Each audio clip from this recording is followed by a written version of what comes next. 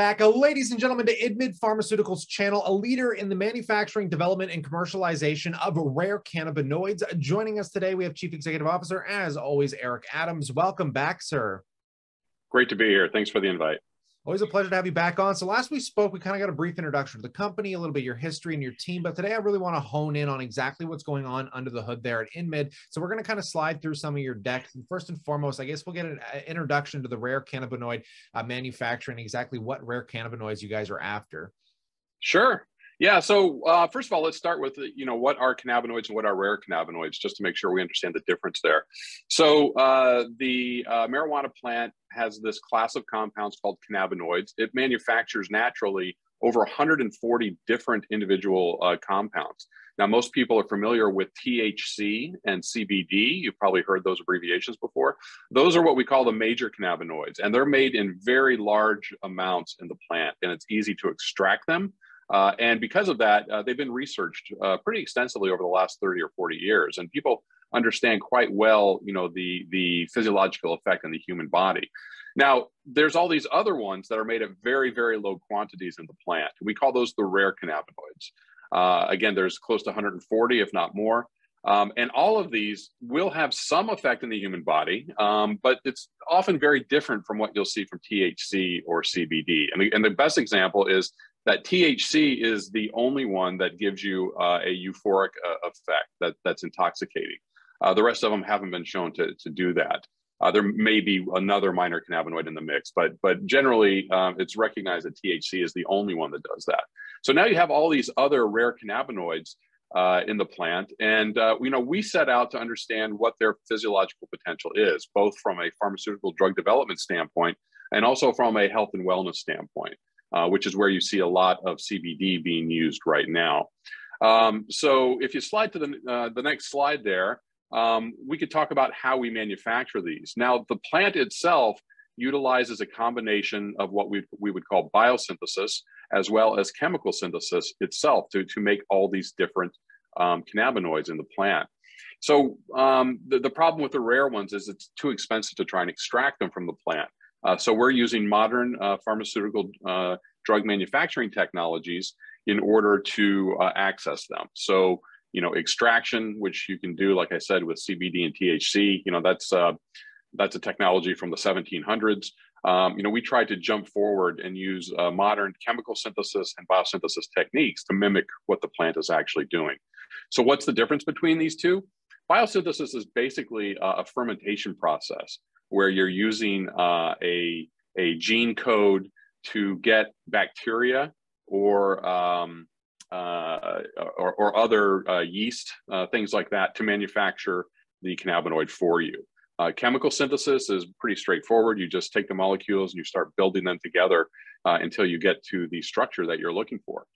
Um, and we have a, a, third one that that we've been working on at InMed called IntegraSyn. And IntegraSyn uh, is kind of a combination of those two. It's part, you know, genetic enzyme, enzyme uh, it's part chemical synthesis.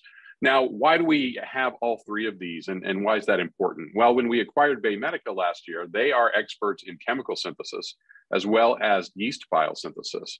Uh, and we on the InMed side are experts in E. coli biosynthesis, uh, and we have developed this IntegraSyn. So now we have this full range of manufacturing capabilities that we can pick and choose depending on uh, which one's going to be best for an individual cannabinoid. So there's three questions you basically have to ask. First of all, is which cannabinoid are you trying to make? And you have to understand the structure of it because that will maybe point you in one direction or another. Uh, secondly, how much of it do you want to make? Do you want to make a huge amount or do you want to make a small amount? And third, what is the quality you want to make it at? And so once you've answered those three questions, you know which one of these manufacturing techniques are going to be most economical, uh, you know, potentially the quickest uh, or, or the best for what you're trying to accomplish. So we've now utilized that uh, know-how to build a portfolio of uh, rare cannabinoids for the consumer health and wellness space. So these are over the counter products.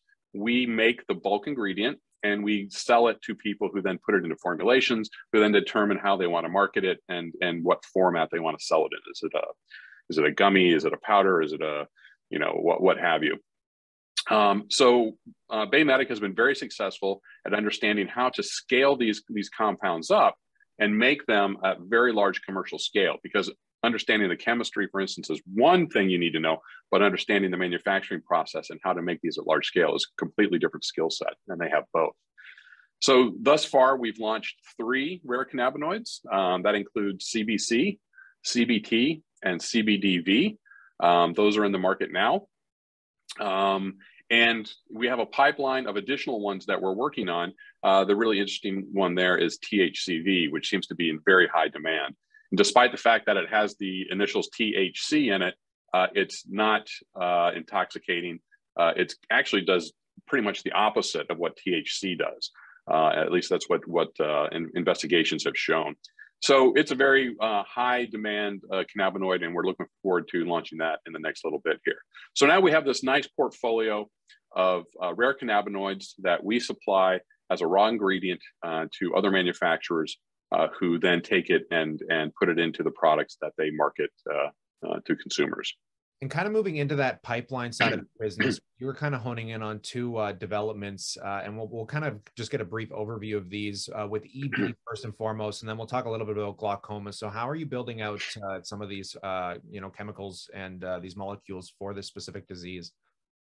Right. So everything I just talked about is for the health and wellness consumer market. We also have pharmaceutical drug development, which is a much longer timeline, which is a you know expensive undertaking. You go through the uh, the the clinical trials uh, and you you know seek FDA approval uh, for use of a compound. Um, we are looking at uh, two applications of the same rare cannabinoid called CBN uh, or cannabinol. Uh, the first one is in this rare genetic skin condition called epidermolysis bullosa or just EB. it's a very devastating rare condition uh, where the integrity of the skin um, is not what it should be. It's not normal. So it's very easy to tear the skin, uh, to uh, have wounds, to have blisters, um, and it in, impacts, you know, the the quality and the duration of life. Um, what we're looking to do is is kind of twofold. First of all, we know that cannabinol can treat a lot of the symptoms that are associated with this devastating condition, things like pain, itch, uh, inflammation and wound healing. So that's what we're trying to do is set out to uh, demonstrate its capabilities through these series of clinical trials, uh, which we're, we're in the middle of right now. Um, so that's a very interesting application. Um, the, so from the systematic, uh, uh, sorry, symptomatic side, uh, we think that it can be a very important compound. There's also uh, some science that underlies the fact that CBN may be disease modifying uh, in a certain subset of patients. That's going to take a longer to suss out. It's going to take longer trials, uh, but essentially, uh, CBN can increase the amount of certain kinds of um, uh, compounds in the in the skin that that increase the the um, uh, binding between the epidermis and the dermis. And so we're looking at whether or not CBN can actually modify this disease in, in some patients, which would be uh, tremendous.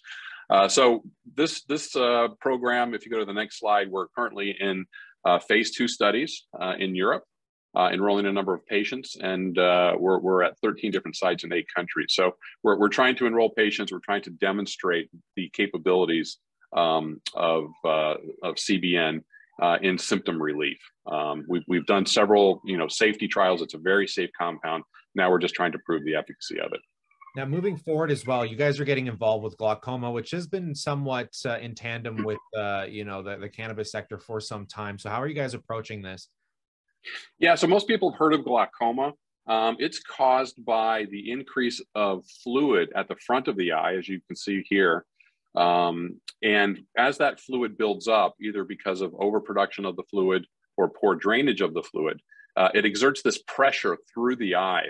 So that in and of itself can be very painful. It can affect your your um, your vision and, and your day to day. But over time, this pressure has a, a more severe effect, and that is it starts to kill the nerves at the back of the eye. Um, and I tell people if you just push your finger down on your desk and hold it there all day, you know, if you pick your finger up at the end of the day, you're not going to have any feeling in that finger. Well, over time, this becomes permanent, and it's similar um, to what's going on in the eye. So it, it leads to irreversible blindness. most of the drugs out there are pretty good at reducing the fluid, and we've seen several cannabinoids that are good at reducing the fluid uh, in the front of the eye. Uh, they increase the drainage of it um, and thereby reducing it and, and the, the associated pressure. But one of the really interesting things we saw about CBN in particular, uh, which we did not see with a whole panel of other cannabinoids that we tested, uh, is that it is proactively neuroprotective. So, what does that mean? It means that the drug goes to these neurons at the back of the eye and it protects them from death um, and it prolongs their life.